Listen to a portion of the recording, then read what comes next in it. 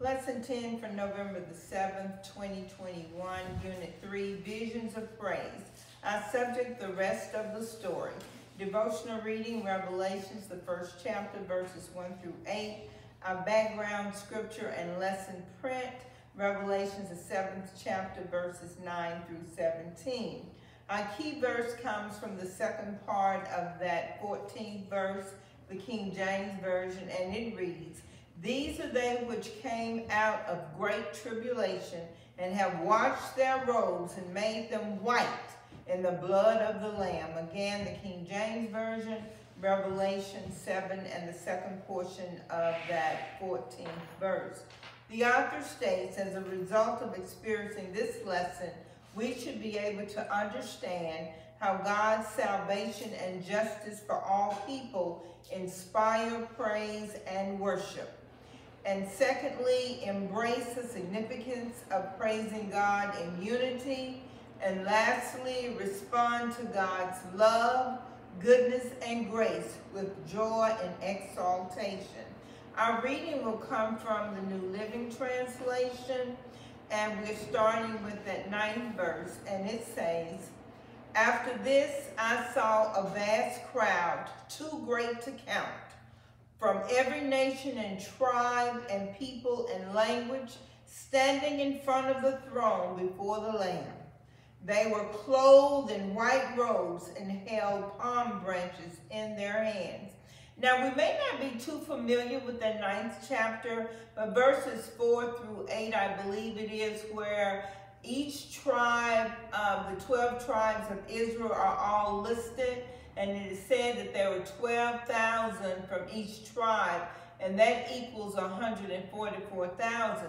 And there's one group of religious people are saying that only 144,000 people are going to go to heaven, and I had a conversation with one of them, and I told them in that case, some of y'all ain't going. So we need to be careful when people quote us scripture. We need to make sure that we read it for ourselves, the verses before and the verses following. And if they can't tell you where it is in the word, ask them to find you, to call you, to let you know where it is so you can read it for yourself. Because sometimes people will try to set us on the wrong road. So we have to be careful about that as well. So we see here that this, uh, the book of Revelation is written by the Apostle John. And uh, it is said that John was also a prophet because he also wrote the epistles, 1st, 2nd, and 3rd John, and also uh, the book of Revelations. And he was sentenced to, it, the scripture says, in the Isle of Patmos, and he was that was a form of punishment for him because he was all out there alone. Um, and even today, when we are sometimes persecuted and prosecuted for our spiritual uh, beliefs, if you will. But the ninth verse, getting back to that, and it says that after he saw the 144,000, then there was another number he saw that no man could number. And it's saying that the crowd was too great to count from every nation and tribe and people and language standing in front of the throne and before the Lamb, and that's Christ, because we know that it, he's sometimes referred to as the unblemished Lamb. And they were clothed in white, which is a sign of purity, and held palm branches in their hands. And on Palm Sunday, we remember Jesus' triumphant entry into Jerusalem where they would lay the palms out on the ground. But the palms was a signal, uh, symbol, excuse me, of victory. And that 10th verse says, and they were shouting with a great war, salvation comes from our God who sits on the throne from the Lamb. And we need to be mindful in knowing that God sent Jesus in John 3.16 sums it up to save us from our sins. And he's on the throne. And then that 11th verse says, And all the angels were standing around the throne and around the elders and the four living beings, and that's the lion, ox, man, and eagle. And they fell before the throne with their faces to the ground and worshiped God. And this was just a symbol of reverence. They were lying prostrate before the Lord. And even now, even if for those of us who can't physically get on our knees, it's a matter of humbling ourselves and being mindful that we can, we need to thank God even before we start asking him for things. And one of the theologians or one of the writers of one of the sources I use, he says sometimes we're so busy asking God for stuff, we forget to thank him for what he's already done. So let's try to make it a habit before asking God for anything. Thank him for what he's already done. And I don't know about you, but we got a lot to be thankful for. And that 12th verse says, They sang, Amen, blessing and glory and wisdom and thanksgiving and honor and power and strength belong to our God forever and ever. Amen. So we need to be mindful too that we keep God in his rightful place. But some of us, sometimes before we get up to speak, we say, give it on to God who's the head of my life. Let's make sure when we say he's the head of our life that we keep him there. Let's not demote him when it's convenient for us, but let's consult him in all of our doings and in all of our saying. And that's one sure way of not going astray or displeasing God. Then the 13th verse says, Then one of the 24 elders asked me, Who are these who are clothed in white? Where did they come from? And I said to him, Sir, you are the one who knows. Then he said to me,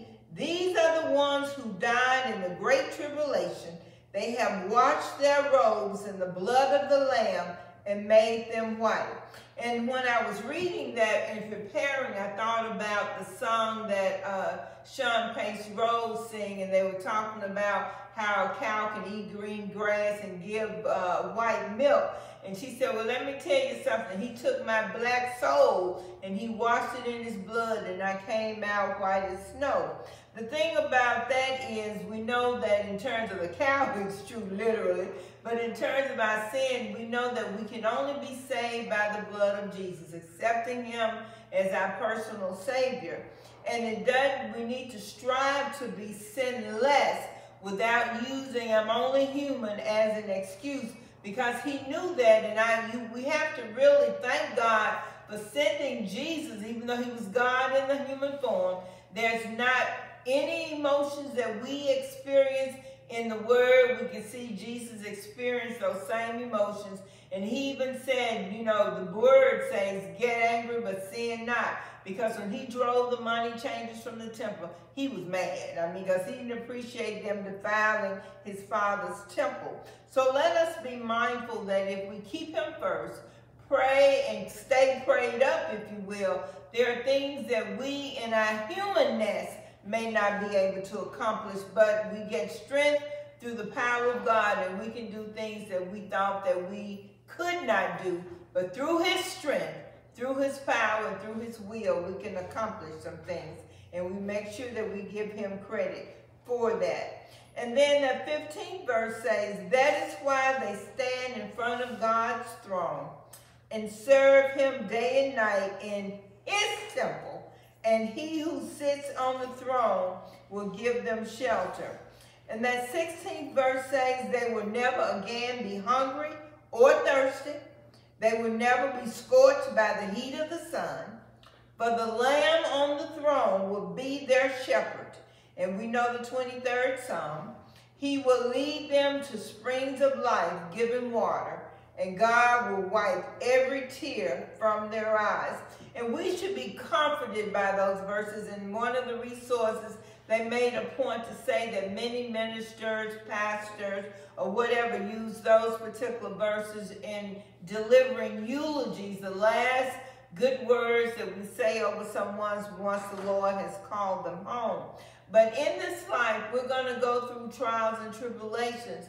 But the thing that we need to find consolation in knowing, as the word says, We've been made endure for a night. Oh, but joy cometh in the morning. And know that when we know the Lord as our personal Savior, He's going to protect us. Some things He's going to keep us from going through. But then on the other side of that, some things he's going to allow us to go through because that builds on our testimonies and it also validates because some people get the misunderstanding that just because we know the Lord, that our lives are going to be trouble-free. Not if God has not done anything for you, or if you haven't gone through anything, what is that you can tell people that God has done for you? And we need to recognize that, and even, I know you have to get there from a spiritual and faith standpoint, but just know that sometimes our trials and tribulations, that's what builds our strength and also validates our testimonies. Because I often say that people say he's a doctor in the sick room. If you hadn't had a common cold, how you know? He's bread when you're hungry. If you've been eating steak and potatoes all your life, how you know? And then he's a lawyer in the courtroom. You don't even know what 201 properly is. So how you know? So we need to be mindful, even though we hear people say this. I mean, is it valid? Is it really true? To be, oh no, it's just the same. No, when you're saying you are giving a testimony, you ought to be able to tell it from firsthand experience. And there's can't nobody tell it like I can tell it what the Lord has done for me. And even when people try to rehearse your misfortunes or even the mistakes or even bad decisions that we made, who know those things better than you? Nobody. So, you know, yeah, I did it. I'm guilty.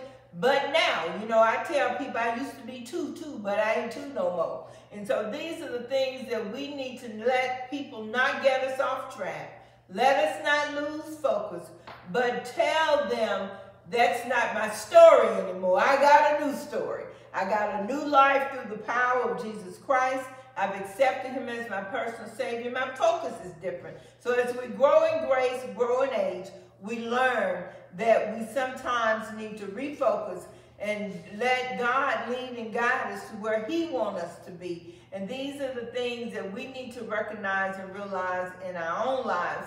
And once we come together as parishioners, church members, whatever word you want to use, then that makes us all stronger. And that's why God says, Hebrews, I think 10 and 25, forsake not the assemblies of ourselves together because we gain strength in God from one another because my testimony may be different than yours, but guess what? It may help you get through what you're going through. So we need to recognize and realize that and know that God has already made provisions for us the way he wants it to be. It's not left up to us, but we need to recognize and realize that God is in control. And I want to back up here for just a moment. I think it's in that 11th verse where it says, And all the angels were standing around the throne, around the elders, and the four living beings. And I've already said that's the lion, ox, man, and eagle. And they were seraphims. They had uh, six wings.